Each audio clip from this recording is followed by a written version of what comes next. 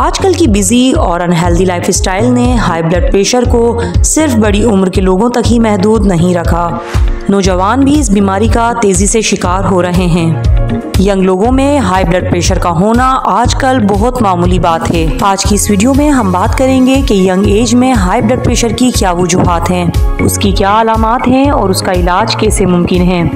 Hello friends वालेकुम welcome to learn science with me दोस्तों, ऐसी ही इंफॉर्मेटिव वीडियोस के लिए हमारे चैनल को सब्सक्राइब कर लें और बेल आइकन को प्रेस करना ना भूलें। हमारी ब्लड वेसल्स में ब्लड फ्लो करते हुए उन वेसल्स की वर्ल्स पर जो प्रेशर क्रिएट करता है, वही ब्लड प्रेशर कहलाता है। वो यंग लोग जिन्होंने हाई ब्लड प्रेशर को एक्सपीरियंस किया है, वो ये जानते हैं कि ये एक नियर डेथ एक्सपीरियंस से कम नहीं है। दोस्तों high blood pressure silent killer के नाम से जाना जाता है। ये विदाउट एनी साइन किसी भी पर्सन को हिट कर सकता है। तकरीबन आधे से भी ज़्यादा यंग पॉपुलेशन 20 साल से भी कम उम्र में इसका शिकार हो रही है।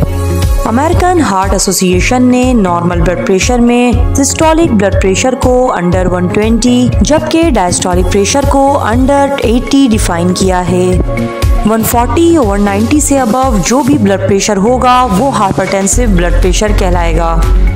दोस्तों ब्लड प्रेशर का बढ़ना हमारे हार्ट पर स्ट्रेस डालता है, जो हमारी आईज किडनीज और ब्रेन के सेंसिटिव ब्लड वेसल्स को डैमेज कर सकता है। हाई ब्लड प्रेशर की वजह से पहले हमारी आर्टरी स्वेल और फिर बर्स भी हो सकती हैं।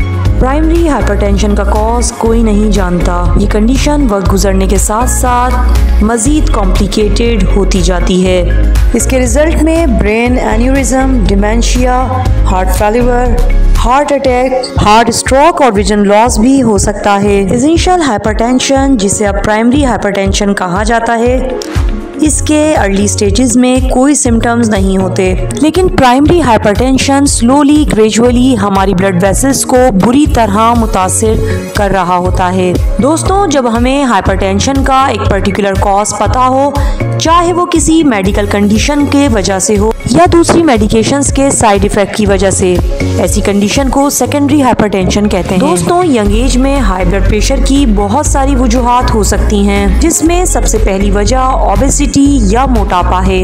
अमेरिका में यंग पॉपुलेशन सबसे ज़्यादा मोटापे का शिकार है और हाई ब्लड प्रेशर की कंप्लेन भी यही लोग करते हैं। नंबर टू कॉज स्मोकिंग और टोबैको चुइंग है. स्मोकिंग ब्लड वेसल्स को बुरी तरह डैमेज करती है. यंग पॉपुलेशन में इसका बढ़ता हुआ रुझान हाई ब्लड प्रेशर की वजह बन रहा है. नंबर थ्री पर है अल्कोहल इंटेक ज़्यादा अल्कोहल इंटेक से ब्लड वेसल्स के मसल बुरी तरह डैमेज होते हैं. अल्कोहल हमारे ब्लड वेसल्स को श्रिंक करता है.